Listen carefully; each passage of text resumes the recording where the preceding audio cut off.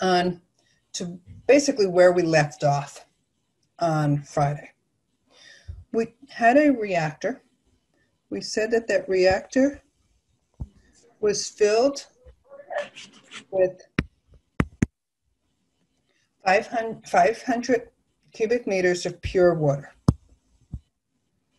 And at T0, the pump was turned on, and we're pumping in a non reactive salt solution that has a concentration of 100 milligrams per liter and at a flow rate of 50 cubic meters per day. And you're told that the volume of this solution is constant, in which case Q in equals Q out, which we can call Q, and that is 50 cubic meters per. And you were asked to draw a picture, state your assumptions, and write a mass balance. And this is what we did on Friday. So we got to this point on Friday. We wrote an equation in mathematical terms. So we wrote it in words, we wrote it then in terms. And then what I drew was a model or um, a graph that showed the change in concentration with time. Now, I could have written this for mass versus time. Why, in this case, is mass interchangeable with concentration? I want to try and answer that in the chat. Why is mass interchangeable with concentration? So we have here the change in mass, exactly, because volume is constant. Okay, because here, change in mass with respect to time, and that's equal to dCV dt, it's change in concentration times volume. And since volume is constant, we can factor out volume. And in this case, and for all practical purposes, everything we do this semester, okay, we will assume constant volume. So mass and volume will be interchangeable. It's not true. If your volume is changing, it becomes a much more complicated situation. We need partial differential equations. We're not going to go there um, ENE 801 is where you really start looking at. If you take that as a either as an elective in your undergraduate program, or if you continue on for graduate school, that is where you would look at these more complicated problems. Okay, so as I said, we have our equation, wrote this, we said that Q in equals Q out equals Q. So we have this equation here. This is our mass in, and this is our mass out. And this is equal to V dC dt.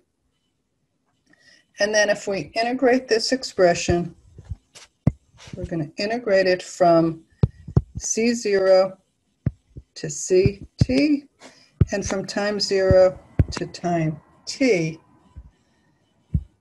And this is the general equation that we will achieve. Okay. Now remembering, we go back here to this example here we start out here with, with pure water. So C0 is equal to zero. So in the, the case that we have here, this term drops out of the equation because C0 is equal to zero. So the only part of the equation that we need is this first part of the equation what if the initial concentration were not zero? And I realized something here. I'm just going to. So we have that previous equation that I just gave you. If we plot the data, so we're plotting T, T versus C. Note, initially we start with pure water in the reactor. And as we're pumping into the reactor, so here's our reactor. Okay, we're, we're pumping in a solution that contains 100 milligrams per liter. So over a period of time, this is our non-steady, so we have non-steady state conditions initially as the concentration is increasing, and then we reach steady state conditions here, and notice we're at 100 milligrams per liter. Okay. Now, what if the initial concentration were not zero? let's say it is 50 milligrams per liter. So in this case here, we have a reactor. We start out with 50 milligrams per liter as C0.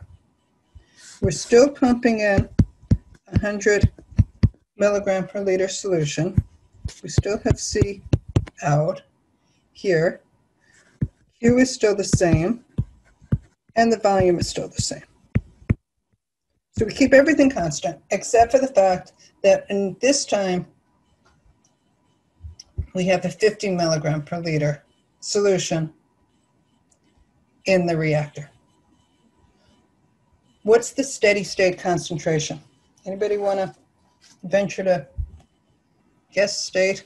What would be the steady state concentration in this case? We still have the same equation if 50 is possible. Anybody else want to make a statement? Think about it. Okay. So it's going to be 50 here. Okay. Cn is 100. And every, we're going to plug in numbers. Okay.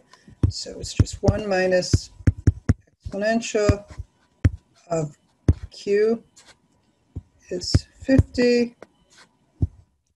D is 500. T is t value that we use plus 50 here, exponential of minus q minus 50 over 500. Again, t, okay? So the answer is 100, okay? We start here now at 50.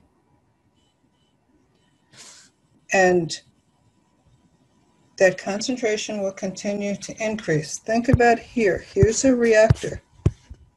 We start at 50. We're adding 100. But basically, you're flushing the system out with this 50, with this 100 milligram per liter solution. So what's in the reactor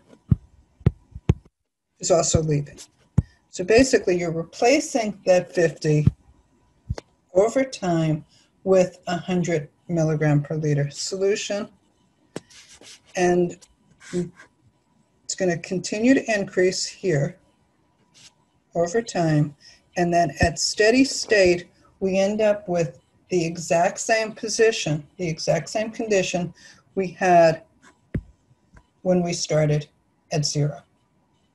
So at steady state, we will end up with 100 milligrams per liter. Now, what if instead we have a situation where now we start with 50 milligrams per liter as C0, but instead we flush out, we're flushing the reactor with a pure water solution. What's the steady state concentration now? Same equation, and you're absolutely right. And so we start with 50. We're flushing with the pure solution. So here's our reactor. We start with 50. We flush with a pure water. Okay. And notice the concentration is going to decrease with time until it reaches zero. So the steady state concentration is zero. And notice in all cases, in all cases, the time to reach steady state is about 40 days. It's roughly where we have no reaction, it's roughly four times the detention time. Our detention time, and how do we calculate that detention time? So volume is 500 cubic meters. Q is 50 cubic meters per day, so our detention time is 10 days. So notice here, in a general rule, you'll see that typically it takes about four detention times to reach steady state without reaction. If you have a reaction, that will change. But without a reaction, it takes roughly four.